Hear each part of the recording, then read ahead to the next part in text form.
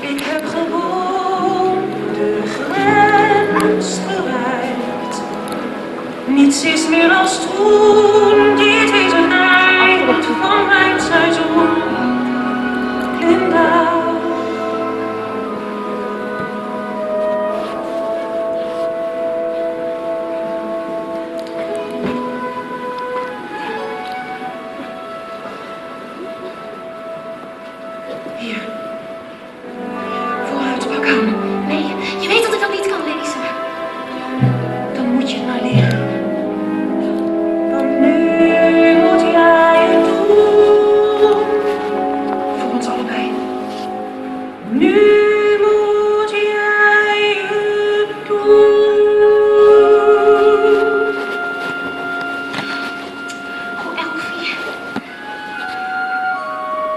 was de enige vriendin die ik ooit heb gehad.